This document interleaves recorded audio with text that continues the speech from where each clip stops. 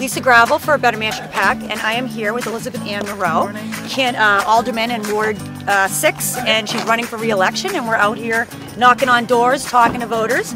Um, I was interested, Elizabeth had a new idea Yag, about Yager Decker, Yeah. something that we could do. That's busting the city up.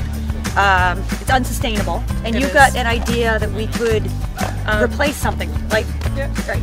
For the past, you know, two, four, six, eight years, it's been on the back burner. It's been tabled. No one's wanted to tackle it.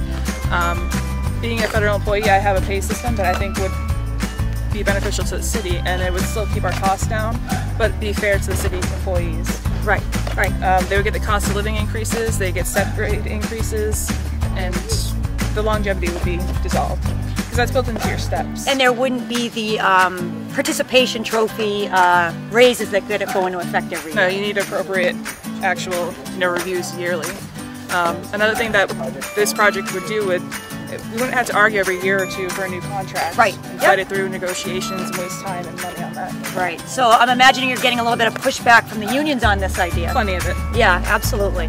Uh, well, I think it's great that you're willing to tackle this issue because, like you said, it's been on the back burner for however many years, and we need people who are actually going to bring ideas and make things happen. And it sounds like you're willing there. to do that. Yep. Very good. All right, you guys.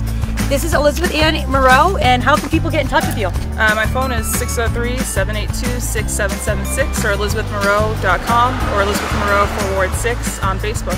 That sounds perfect. Get in touch with her, guys. Get a sign, but most especially, get out November 7th and re-elect this woman because she's got some great ideas. Thank Thank you. you.